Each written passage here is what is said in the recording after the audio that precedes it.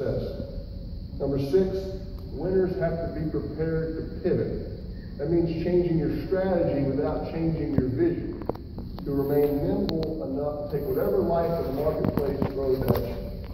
Now, if you've ever seen me play, you probably know I've never pivoted all that easily. Never exactly been described as nimble before. Had a coach tell me